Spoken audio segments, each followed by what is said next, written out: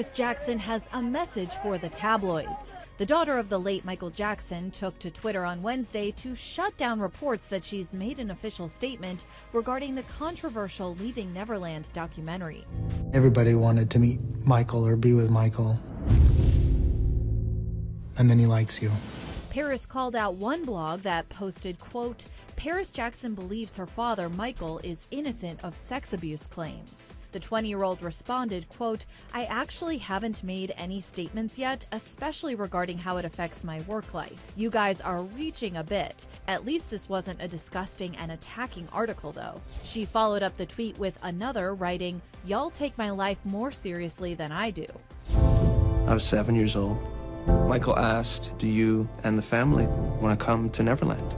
The HBO documentary details allegations of sexual abuse against Paris's late father, featuring new interviews with accusers James Safechuck and Wade Robson.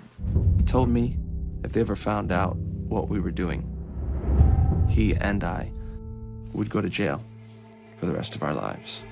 In the documentary, Safechuck and Robson, now married adults with sons of their own, claim they engaged in sexual relationships with Jackson that started when both were underage, 10 and 7 years old, respectively.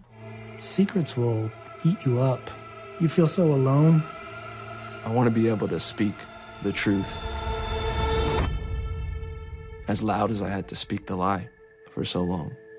Through on camera interviews, they recall how they each first met the music icon and later became closer to the pop star. Since its debut at this year's Sundance Film Festival, Leaving Neverland was met with immediate backlash from Jackson's family, who slammed the production in the press repeatedly. We know our brother.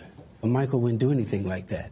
And then he waits until after the passing of Michael 10 years later to come out and state this. And he's, they're still in court with, with their estate, suing them for hundreds of millions of dollars. Paris, however, hadn't spoken out about the film.